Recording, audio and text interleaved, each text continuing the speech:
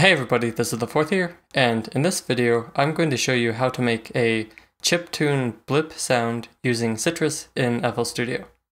So here are a couple examples of the type of sound I'm going to be showing you how to make.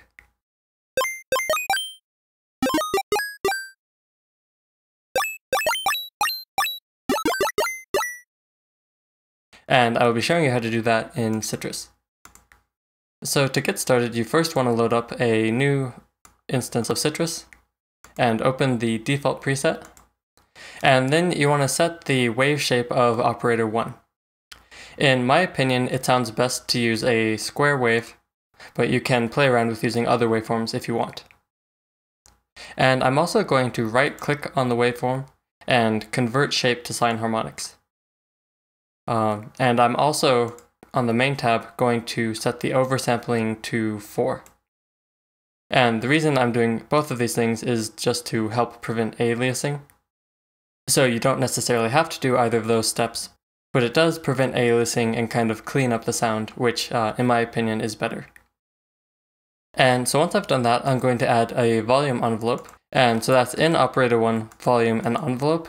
You want to enable the envelope and then take the attack all the way down, the sustain all the way down, and I'm going to take the release all the way down as well. So you should have something like this.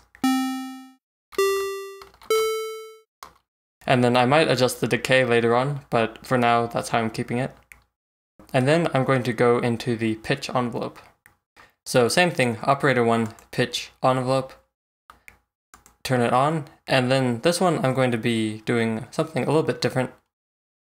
And what I'm going to do is take this point here at the beginning of the envelope up to 50% uh, towards the top. And then I'm going to right click this point here and select the stairs option. And then I'm just going to adjust that until it looks the way I want it to. Um, so you can see right here, it's starting um, immediately up, which means I've gone the wrong way. So I want to go up and it should look like this, where it starts off flat and then uh, kind of jumps up. And then I'm just going to grab this point and bring it all the way up and then delete this last point. And so now what I have sounds like this. And if you want to add more steps to the blip kind of sound, you can just adjust the tension setting and um, you know just set the number of steps you want. And if you want the pitch of the blip sound to always be matching the note that you're playing on the keyboard, you want to adjust the pitch envelope as you adjust the number of steps. Um, so basically, the pitch envelope should be set to 1200 times the number of steps uh, aside from the first one. Because the first one is going to be the original pitch, and then each step will go up by 1200 cents or 12 semitones, which is an octave. So in this case, I'm going up two times. So I want two times 1200, which is 2400. And you can see that up here. Um, so it's 2400. And so you can hear now that each step is playing the same note, just octaves apart. And then you can adjust the timing of that uh, pitch envelope by adjusting the attack And if you want to, you can also go back into the volume and adjust the decay.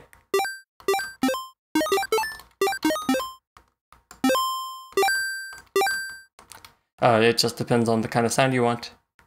And you know, if you want to add more steps, you can do the same thing. Kind of bump that up to four steps. And then bump this up to 3600.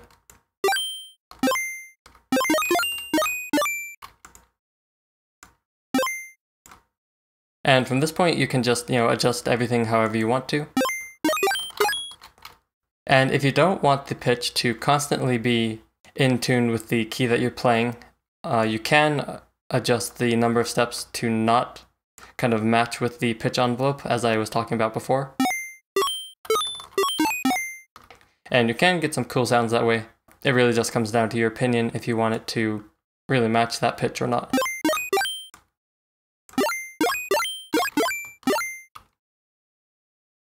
And so, you know, just by adjusting these envelopes, adjusting the pitch envelope,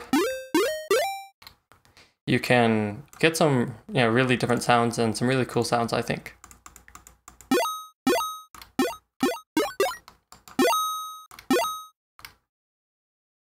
So that's pretty much it for this video, um, but a quick summary, you know, set operator 1 to whatever wave shape you want. I personally really like how square wave sounds. Add a volume envelope that just is basically a downward decay envelope with the volume.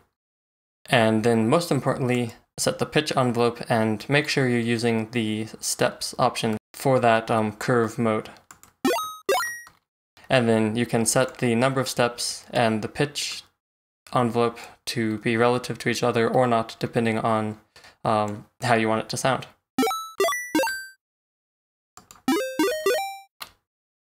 But yeah, you know, that's all there is to it. Um, hopefully this video was helpful, and I will see you in the next video. Hey guys, thanks for watching the video. If you thought it was helpful, please be sure to leave a like and maybe a comment if you have any questions or requests for future videos. If you're new to the channel, I encourage you to subscribe and have a look around. I've already uploaded a bunch of tutorials, and I try to release new ones every week. I also do my best to keep things pretty organized so that you can find what you're looking for a bit more easily.